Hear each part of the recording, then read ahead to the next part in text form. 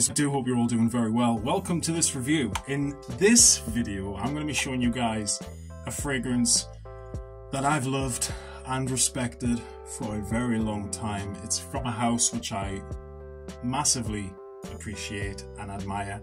The house is Jacques Bogart, and as you guys know, I've actually reviewed quite a few Bogart fragrances on my channel. Although I don't think I've talked about this one. I might have talked about it, but I'm not sure. Uh, the fragrance I'm talking about, of course, is Bogart. And, uh, well, simply known as Bogart Signature. And as you guys can see, I haven't hardly worn this fragrance at all. Hardly wore it. It's a very inexpensive, classic fragrance that you can find online for less than £15. It's one of those very cheap, inexpensive fragrances, but the smell doesn't smell cheap. The bottle design, it's not amazing, don't get me wrong, but it is a very unique bottle design nevertheless. Uh, in fact, the company Jacques Bogart actually released another fragrance identical to this bottle called De Vries, but you cannot find that fragrance anymore. In fact, it's discontinued. It's pr pretty much a relic now. So yeah, I mean, I do like the bottle design though. I think it's nifty. I think it's got a lot of suave and sophistication to it. And the atomizer looks like this. So yeah, we do get a very cheaply made atomizer. It would have been nice if it had this cover on the top, but it doesn't. So let's get it sprayed on some card.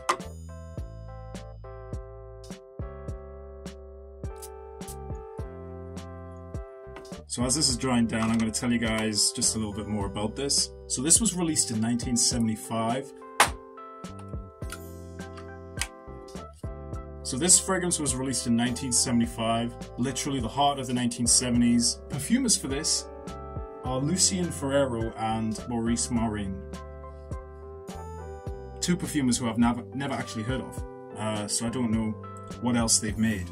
So there's definitely a woodiness to the fragrance, smokiness, mossy, and I would say very leathery as well. Although the leather isn't like a modern leather, it's your quintessential 80s style leather. Has that ruggedness to it, you know. But that might just be because of the fact that there's a strong woody core here and the oak moss. It's just so good. So this opens up herbal, but it's done in a very dark way, and I'm getting slight citrus. So there's there's some unique notes in here. There's a yellow mandarin note, lemon blossom, and orange. There's some spicy elements in here as well. Nutmeg, clove, but the herbal notes are still here as well. So there's juniper, along with the rosemary in the top.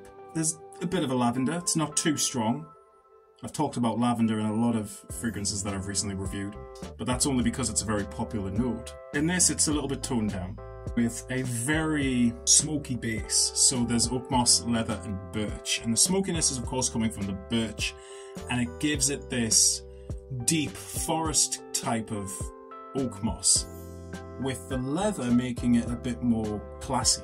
It, gives it this classy edge in the dry down. I feel like if there was no leather, it would just be your quintessential generic sort of 80s man's fragrance. But the leather in the base, especially in this, makes it smell very special. I remember the first time smelling this and it actually reminded me a lot, and I mean a lot, of Pour Lui by Oscar de la Renta. It definitely reminds me of this.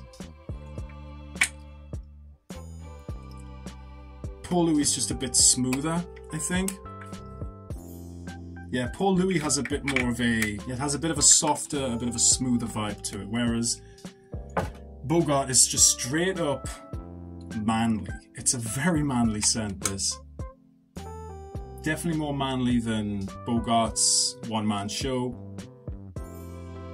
but definitely not manlier than Thuriel. yeah, it's it's a nice fragrance, this guy's. Very nice fragrance, even though it's it's got its macho vibes going on. It's definitely got a clean edge to it. I'm even getting a little bit of Santos Cartier vibes with this, very slightly, although this has a bit more of a citrus going on. There, it's it's really good stuff, this guy. So if you're looking for a very like uber masculine fragrance, which isn't Aramis or Kouros, and you're looking for something that's like way less in price, This is brilliant. And I feel like if you're one of those people who's into niche fragrances, I don't even think you will dislike this because niche companies aren't even making fragrances like this. You know, this is a fragrance in its own time.